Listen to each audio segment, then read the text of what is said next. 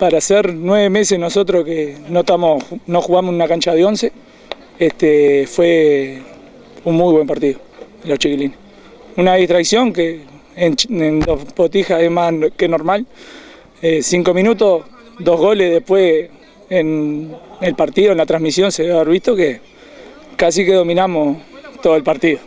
Eh, es fútbol, no es merecimiento, fue lo que le digo y que hay que estar siempre más atento. Y después el tema de la, de la pandemia trancó todo, fue muy complicado. Ellos habían hecho una muy buena pretemporada y 15 días antes de arrancar el campeonato surgió todo esto y, estuvimos casi seis meses sin entrenar, eh, cinco o seis meses.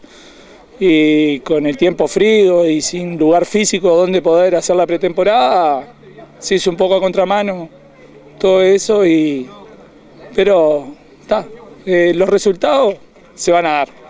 Más allá de resultados deportivos, eh, te quería preguntar por, eh, cuáles son los, pilares que, surgen de este trabajo, que se repite, que tiene esta continuidad, que es una ventaja, eso sin, lugar a dudas, pero cuáles son los valores donde se reafirman ustedes para este trabajo. Los valores que, nos referimos siempre, antes que nada, los chiquilines, sacar buenas personas es lo que nos abocamos nosotros.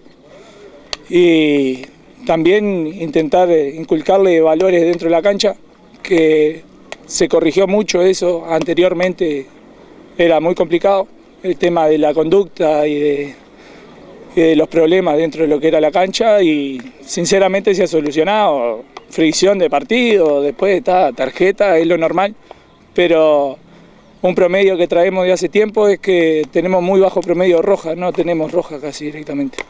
Eh, creo que tenemos en tres campeonatos que lo voy dirigiendo, casi tres años, que tenemos dos tarjetas rojas y no.